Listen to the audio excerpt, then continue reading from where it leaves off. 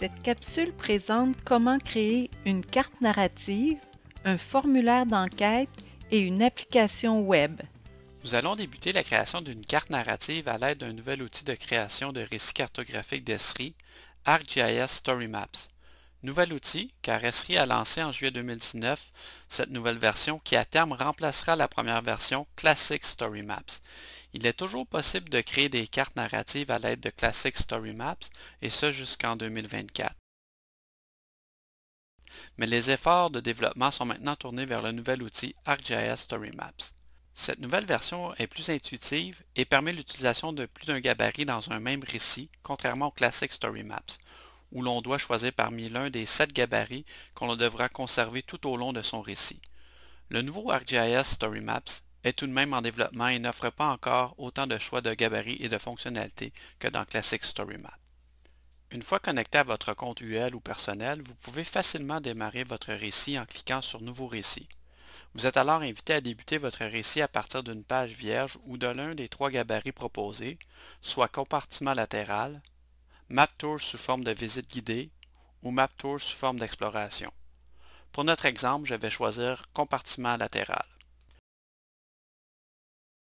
Le bouton Apparence nous permet de modifier l'apparence de la page couverture et de l'ensemble du récit. Toute modification est sauvegardée automatiquement. Le bouton Aperçu permet de prévisualiser son récit sur l'écran d'un téléphone mobile, d'une tablette ou d'un ordinateur.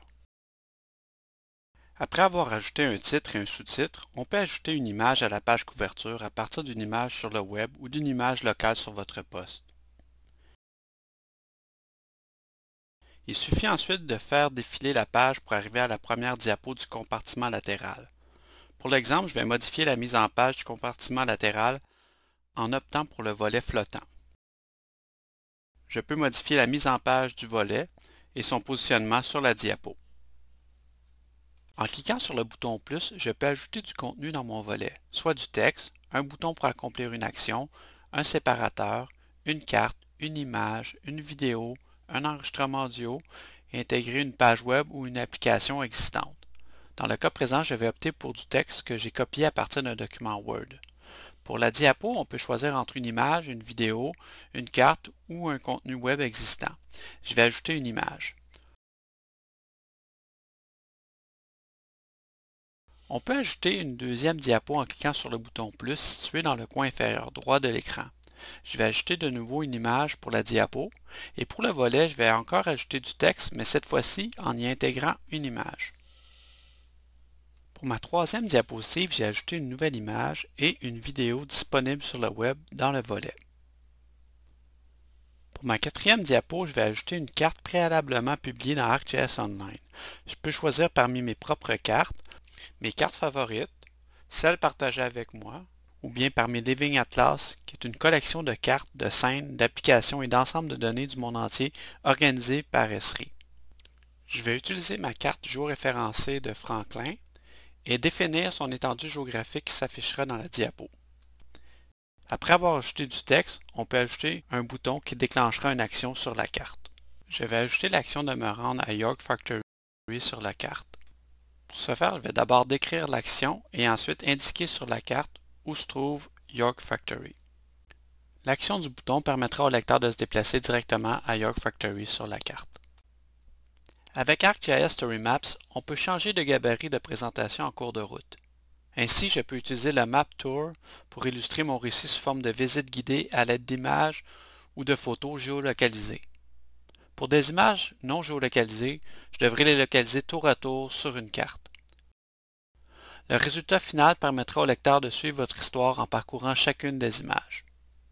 Pour terminer, n'oubliez pas d'ajouter vos crédits à la fin de votre récit.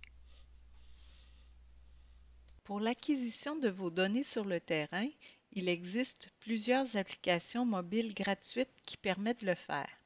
Chez Esri, les deux principales applications sont Collector et Survey 123. Collector est orienté carte, c'est-à-dire qu'une carte s'ouvre, vous entrez une position et les données descriptives qui s'y rattachent. Survey 123 est orienté formulaire, c'est-à-dire qu'un formulaire s'ouvre pour y saisir des données dont la position. Comme exemple, voyons comment nous pourrions créer un formulaire pour la saisie des données des œuvres d'art public que l'on retrouve sur le campus de l'Université Laval. Connectez-vous à la page web de Survey 123 pour créer votre formulaire. Cliquez sur Nouvelle enquête et choisir Utilisation du concepteur web. Saisir un nom et des balises pour créer votre enquête. Par la suite, ajoutez les différents modules que vous avez besoin pour créer votre enquête. Choisir texte uniligne pour mettre le créateur de l'œuvre. Ajoutez ensuite le nombre de champs nécessaires à la création de votre enquête. Par exemple, choisir menu déroulant pour le type d'œuvre. Saisir les choix possibles pour les types d'œuvres. Par la suite, vous pourrez ajouter autant de champs que nécessaire pour compléter votre enquête. Voici le formulaire d'enquête complet. Il comprend le nom du créateur de l'œuvre. Remarquez que nous avons mis ce champ obligatoire. L'année de création de l'œuvre. Il est possible de stocker la date sous, la forme jour, mois, année, mois et année ou uniquement l'année. La liste déroulante du type d'œuvre nous avons ajouté un champ permettant de prendre une photographie ou de sélectionner une image sur votre ordinateur. Et pour terminer, nous avons ajouté la position de votre téléphone qui correspond à la position de l'œuvre. Cliquez sur Aperçu pour visualiser l'enquête. Vous pouvez maintenant saisir les informations dans le formulaire.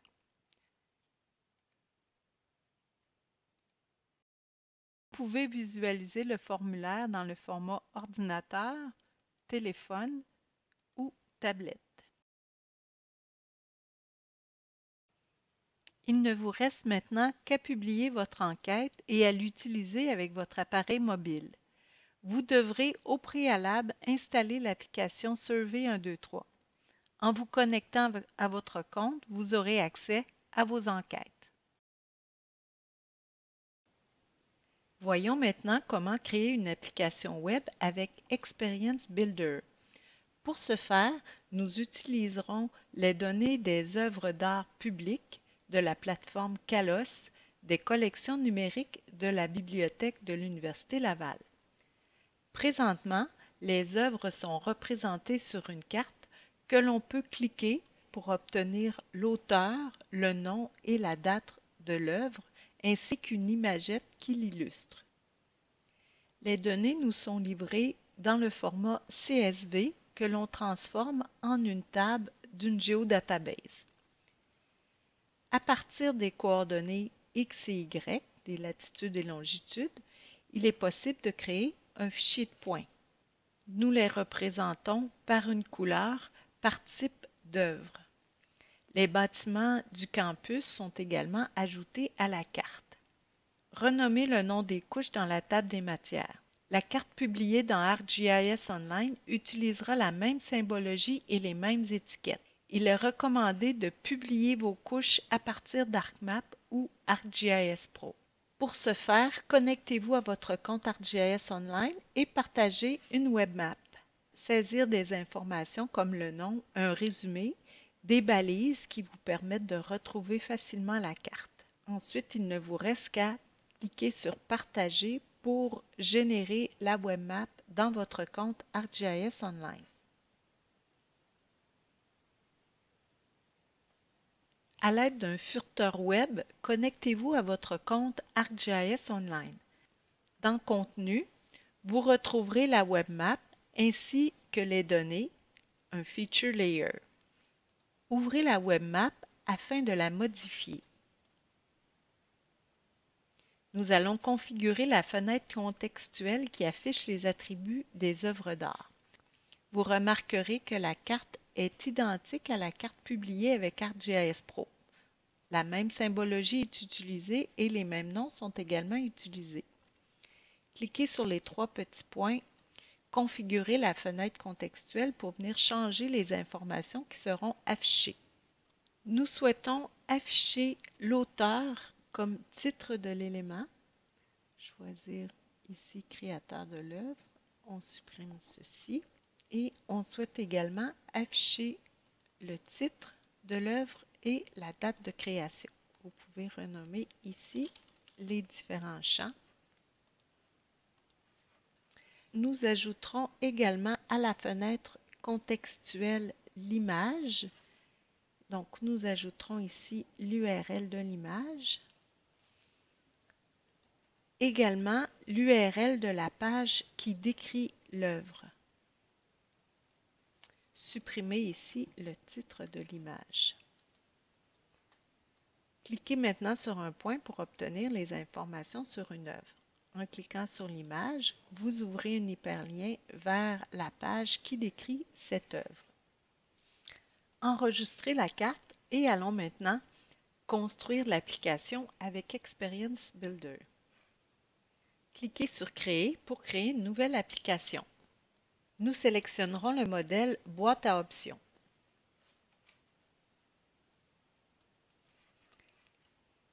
Cliquez sur la carte pour insérer notre carte Web.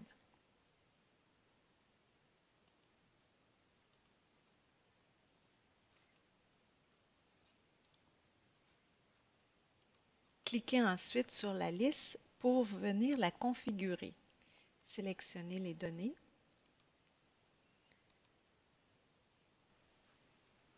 Et double-cliquez pour modifier le titre vous pourrez avoir accès aux attributs en cliquant sur la petite base de données. Donc ici, on veut mettre le créateur. Par la suite, on aimerait mettre le titre et la date.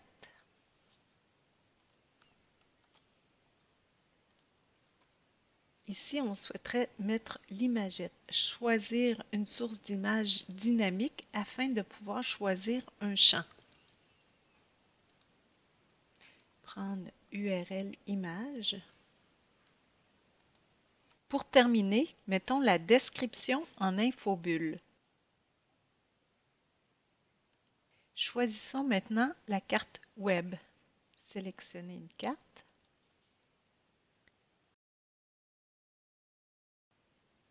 Ajoutons maintenant des actions associées à la liste. Nous aimerions que le point associé à l'œuvre clignote sur la carte et zoome sur celle-ci lorsque nous le sélectionnons.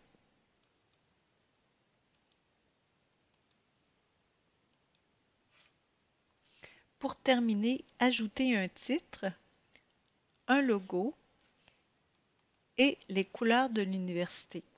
Une fois terminé, enregistrez l'application la publier et cliquez sur Aperçu pour la visualiser.